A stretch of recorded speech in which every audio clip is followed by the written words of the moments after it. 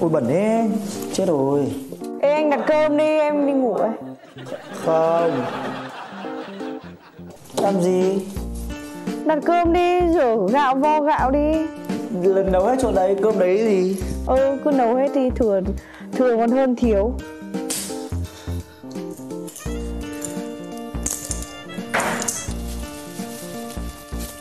Nhiều cơm cực.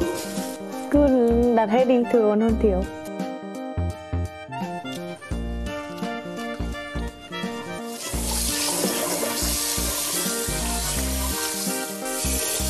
Gạo này chả biết nấu nhiều nước hay ít nước luôn. Ừ. Lấy uh, trên cái gạo khoảng tầm một đốt rưỡi ngón tay thôi. Sợ ít. Cứ để một đốt rưỡi đi. Được chưa? Đâu? Mang vào đây. Mang vào đây. Luôn Một đốt rưỡi. Đây. Này Thêm một tí Thêm một tí thôi. Tí á Nhưng mà vo gạo gì mà bẩn Nước vẫn chưa trong đâu Phải vo thêm đi. Nước này trong rồi. Nước đục lắm Ăn cơm bẩn đấy. Đây là nước siêu trong rồi ấy. Nước siêu trong khổng lồ luôn rồi ấy. Thật ra với quang anh thì quang anh không hề biết nấu nấu ăn giỏi đâu. Khi mà bảo hân uh, bắt quang anh là phải cầm cơm đi rồi uh, bảo hân buồn ngủ bảo quang anh nhặt rau luộc rau nhưng quang anh không biết làm gì cả.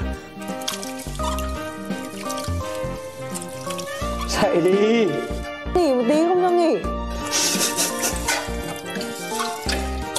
Đi cả ngày đau cả chân nữa bóp cho. Không cần. Sao? Đấy nước sạch mà. Cầm cơm thui Một đốt rưỡi. Một đốt rưỡi ở đấy. Đo đi.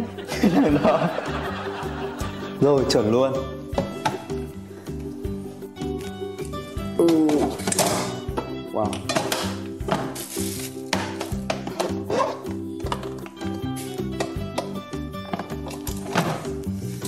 Bấm nút nào ấy nhỉ? Bấm nút khúc. Rồi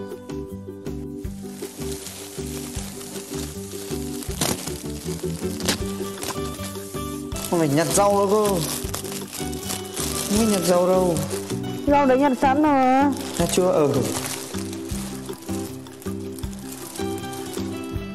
Thật à? Ê, này nhặt chưa? Không biết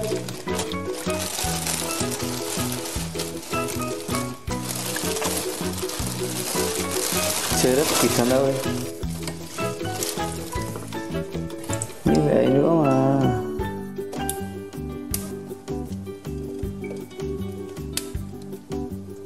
Đi ra ướp gà đi? Cứ vào nhanh mà. Luộc rau đi. Bây giờ đang phải nhặt rau đã. Tranh thủ làm luôn đi. Cứ làm mấy phần đấy đi rồi tôi làm phần sau Tôi nào? Tớ ờ, Hôm nay thì uh, vừa đi siêu thị lên Kiểu Thì uh, bảo Hân mệt quá Bảo Hân nằm ngủ. Thì uh, có bảo Quang Anh là Quang Anh đặt cơm này. Uh, xong Quang Anh còn uh, luộc rau. Nhưng mà khi mà mình trong khi mình ngủ thì Quang Anh vẫn loay hoay với cái uh, uh, nồi cơm. Mãi vừa mới đặt được uh, nồi cơm thì uh, Bảo Hân cũng rất là sợ Quang Anh không làm được gà với uh, mề thì uh, Bảo Hân dậy giúp đỡ Quang Anh tại vì là chỉ nhờ Quang Anh đặt cơm thôi. Ê gà có phải rửa không? không Điêu có Rửa như nào? Rửa như nào? buồn ngủ quá vừa nãy còn mơ thấy mấy cái cười buồn cười Rửa như nào? Chịu không biết làm gì cả đây rồi Thì đi nhặt rau đây nhặt rau đi Nhặt như nào? Nhặt như này được chưa? rau này nhặt sẵn rồi không hiểu à Luộc cả vào á điên à? cắt bớt phần dưới đi thôi nhặt sẵn rồi mà. Thế á? đi gọn sang bên cho người ta còn nấu chứ. Có bát ô tô không? Có. Lấy hộ lấy hộ ế Hai cái nhá. Một cái thôi Để từ từ lấy khăn lau đã. Thiếu chuyên nghiệp. Nào rau để vào đây thì người ta rửa gà thì rau tanh hết à? Gà chưa chiên được phải ướp một lúc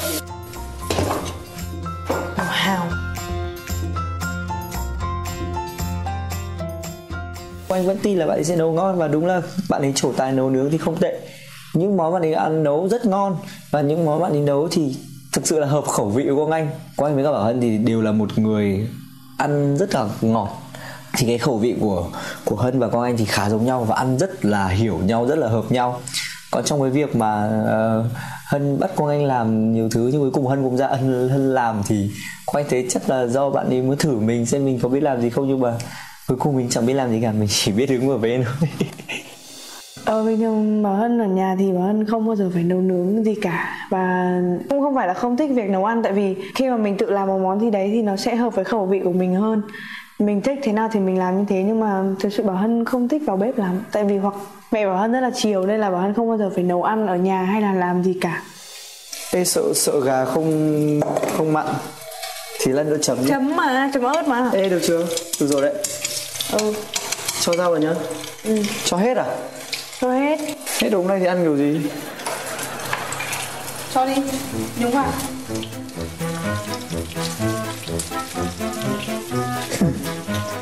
Thế à? Thì rồi đấy, tắt đi, tắt đi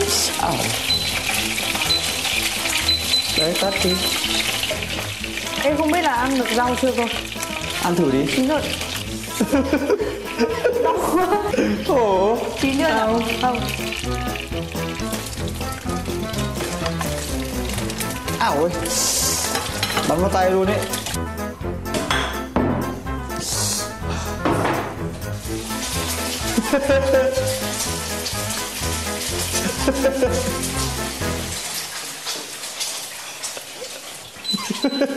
Nó bắn không đỡ luôn Trước đây thì Bảo Hân chưa bao giờ cùng với Quang Anh nấu ăn hay là Bảo Hân nấu cho Quang Anh ăn hay là Quang Anh nấu cho Bảo Hân ăn cả. Thế nên là Bảo Hân cảm thấy là nó cũng là một trải nghiệm rất là thú vị. Hôm nay thực ra là mình mới được kiểm chứng Hân nấu ăn Bởi vì trước đấy thì mình mới chỉ nghe Hân nói thôi Còn không biết là cái tài của bạn ấy đến đâu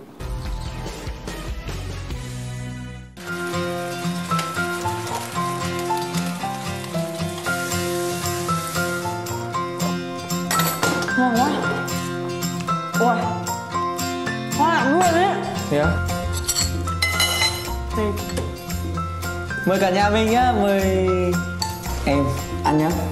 ừ. Nhớ đau bụng bây giờ. Đau bụng bây giờ đừng ăn nữa. Ơ nhưng mà Ê gái, không, ăn miếng ăn nào? này đấy ngon lắm. Ăn miếng nào Ăn nhỏ? lên trong nhận xét. To. To thì cắn ra. Ừ. Ừ. Sao? Ngon. Giỏi không? Quá giỏi. Thế này thì không sợ chết rồi. Ngon mà. Ừ. Làm sao rồi nhá? Sao rồi bà bảo bà bà sẽ bảo tôi phải nấu cả cậu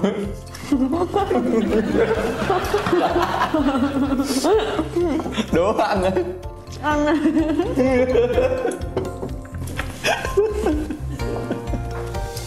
này nhặt sẵn rồi. Không hiểu à? Luộc cả vào điên à? Cắt bớt phần dưới đi thôi, nhặt sẵn rồi mà. Thế á? Đi gọn sang bên cho người ta còn nấu chứ. Việc mà quanh lúc đầu quanh định nhặt rau ấy Là quanh đã định nhặt rồi Bởi vì quanh không nghĩ là nó sẽ cho cả cọng vào như thế đâu Và cho rất nhiều như thế. Nhưng Vân bảo thế kệ cứ cho vào đi Thì đúng là khi mà khi mà vớt lên thì phải rút kinh nghiệm rất nhiều. Lần sau quanh sẽ không nghe hơn Cứ Em mì ngon không hỏi thật đấy. Ngon nhưng hơi cứng. Mì mà. Ừ nhưng mà Nó giòn ý. Đúng rồi được?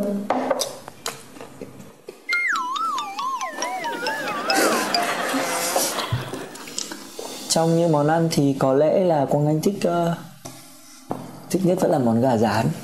Còn cái món mề của Hân thì Quang không thích ăn những đồ dai và giòn và cứng như kiểu mề. Còn món rau muống của anh luộc thì nó hơi nhũn.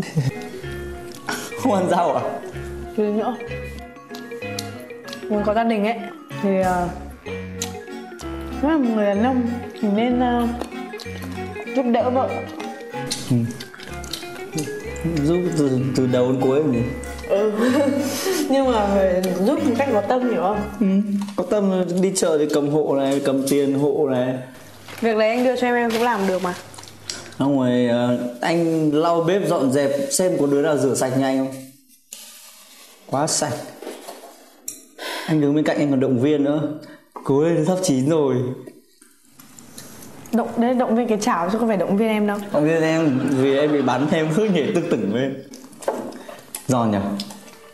Sau này mà lập gia đình thì chỉ muốn có một người có thể giúp mình ừm, làm canh rau muống luộc và thịt à, kho tàu ngọt mỗi ngày. Thế thôi ngày nào cũng ăn được.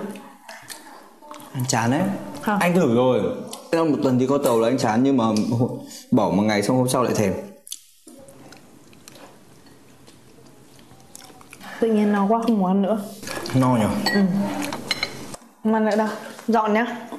Được chúng ta đang ăn chứ dọn nhớ cho rõ lắm mà xong rồi bỏ thế này.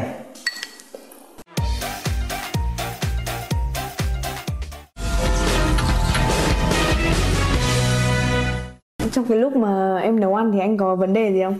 Có cần có cần ờ, tức em có gì không thích này hay là ờ, nói chung điểm cộng với điểm trừ thì như nào Thật ra điểm cộng là em nấu ăn rất ngon. Em nhưng mà điểm trừ là em để anh phải alone khoảng 15 phút. Lôn là gì? Không cô đơn. Ừ, thế là 15 phút lúc nào? 15 phút lúc em nằm ngủ. Lúc vo gạo á? Người ta nghỉ người ta đứng. Nhưng anh không biết làm gì cả. Thì anh gọi em ra thì cuối cùng em cũng ra. Thì nhưng mà điểm trừ là em hay có bản ấy ừ. À, hay có bản quá. Đúng. Ờ, xong rồi ờ, em cũng hay ờ, ví dụ như kiểu tập trung quá vào công việc thì em sẽ không quan tâm đến anh. Ừ, đúng rồi. Lúc nào cũng thế mà. Ừ. Người ta phải đặt những cái gì lớn hơn trước đúng không? Về cứ mãi nắm tay với cả ôm thì lấy đâu ra đồ ăn để ăn đúng không? Người ta phải tập trung về thì mới có những món ngon. Thôi rồi tạm chấp nhận. Cái thứ ờ, hai là ờ, anh cũng tự nhận là mình chả làm được gì. Ngoài việc là nấu cơm rất ngon ngon luộc rau thì hơi ờ, nát một tí. Nấu cơm ai hướng dẫn đấy? Nấu cơm anh tự mà. Nói thật cho một cho 5 giây suy nghĩ. Nhưng mà anh 5 em, giây chưa hết. Em có nhớ là ừ, anh mang nước ra xong em lại bảo đổ hết đi vo tiếp không thì biết tại ra vì nó vẫn còn quá đục. Ừ, thì anh đổ lần hai anh đổ Rồi xong thế anh không mang ai- ra. ai hướng dẫn là mực mức nước như anh này có đo đâu. Anh chỉ anh chỉ đo một tí thôi cái này thì à, không cần phải à, nói vì à, tất cả mọi người đều thấy ừ. ừ. là anh cũng không đo lắm đâu Ừ, anh tự nấu đâu. mà Ừ. anh còn tự Ok. bật tắt đi bật lại nhá lần ok. hai cơm rất là ngon mỗi tội là anh đã bảo là để, để anh nhặt rau nhưng mà em lại bảo không xong rồi cũng Rồi. Tại vì anh cũng tự nhận ra là anh uh, đoảng ở chỗ nào rồi nên là em không nói nữa đấy. Thế còn gì đâu ô thế thôi á. Tức là anh Ừ, nhận thật, ra được điểm chỉ- yếu của mình thế thôi ừ, á. chỉ có thế thôi mà. Còn lại thì không có gì cả. À từ từ để nghĩ xem ra đi siêu thị thì Ừ, cứ đâu. kiểu cố nắm tay các thứ để làm gì đâu. Ừ. cho đấy đông người. Thế nhưng mà đấy là cũng là do Nên em. là không hiểu người yêu đúng không? Người nghĩa thực ra là anh không cũng đã chia sẻ rồi. là anh cũng biết là cả anh và em là đều là những tuyếp người không muốn công khai. Ờ anh hiểu dù thế nào thì tức là mọi anh cũng biết là mọi người nhìn thấy mặc áo đôi rồi. Tức là tức là lúc đấy em cũng anh cũng thấy nhưng mà anh đang thấy là mọi người nhìn là bởi vì mọi người nhận ra chứ không phải mọi người soi đâu. Với cả lúc mà anh kiểu cứ quá cố phải kiểu giúp em kiểu cầm cái này cầm cái kia cái đấy là anh làm được. Anh không nên không nhất- thiết phải như thế hiểu không? trong, yêu phải bình đẳng bình đẳng. Thích nhưng anh có làm cho ra trò đâu. Anh làm ra chồng vừa kéo cái đấy vừa đi như này khổ khổ ơi là khổ ra còn còn còn cãi. Vì người ta kéo được thì để người ta kéo. Ừ, thì nhưng mà anh- yêu thì ừ. mình phải bình đẳng đúng không? Ừ. em cũng bị cứng đầu quá. Ừ, đúng rồi tại vì em là bọn mình không hợp nhau mà. Bọn mình không hợp nhau mà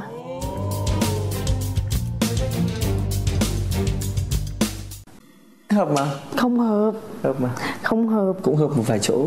Thế thực ra em cũng bị mạnh mẽ quá. Ừ. không phải mạnh mẽ mà là cứng đầu. Anh Thế thì anh yếu đuối quá. Lại không, tính đến thời điểm hiện tại thì ờ, buổi sáng gặp cho đến bây giờ thì quanh thấy là đúng là cũng có khác. Nghĩa là những cái gì mà mình suy nghĩ về bảo ấn trước đây mà mình chưa biết thì cũng đều đã rõ rồi. Về con người của bạn ấy bạn ấy vẫn luôn là một người rất là cục cằn bạn ấy vẫn luôn là một người rất là thẳng tính thì bảo hân vẫn luôn giữ như thế. Quang anh cũng biết thừa là một người rất là lạnh lùng. Ờ, hay nói ra thế thôi nhưng mà bên trong hay là hoặc là những cái công việc thật, thật sự cần thiết thì lúc nào quang anh cũng được nghe. Thì hân nghĩ là chắc là chỉ có hai người hiểu thôi tại vì là hiểu nhau nên là những cái thứ mọi người bên ngoài nghĩ thế nào hay nhìn vào như thế nào thì có thể hân với cả quang anh không quan tâm cho lắm. Tại vì là tình cảm giữa hai đứa thì hai đứa hiểu. Đến bây giờ thì quang anh vẫn chắc chắn là sẽ tiếp tục uh, muốn hẹn hò với bảo hân đến cuối bởi vì là mình đã lựa chọn thì tại sao mình lại bỏ cuộc giữa chừng? Bản thân quang anh thì vẫn cứ muốn thử và vẫn muốn chinh phục xem cô nàng đó cần gì ở điểm gì ở mình.